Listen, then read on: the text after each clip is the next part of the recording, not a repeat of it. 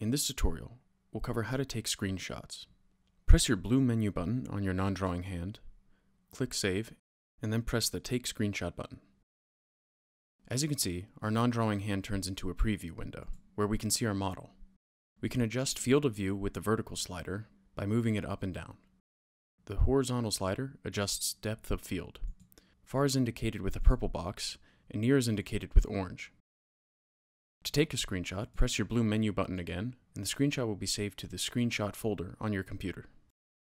On the right hand side we have a few options. Add Quad and Sketch allows you to take a screenshot and have it exist in your environment.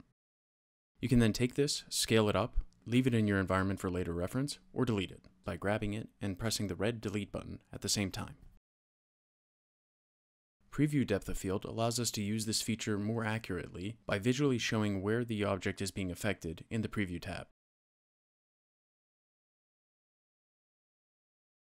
We also have a square format for Instagram, transparency that exports as a PNG, and you can toggle UI on and off.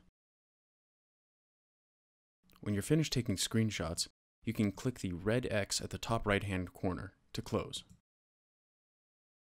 That's it for this tutorial. I'll see you in the next one.